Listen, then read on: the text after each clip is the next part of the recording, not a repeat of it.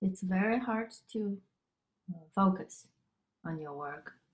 Um, I try to resist not checking the news all the time, as like everyone else, but it's impossible. You want to be informed, but also really question if the whole system we live in, whether um, it's an institutional or is the community, if all of that collapse, and where do our work live, and how do anyone survive? You know,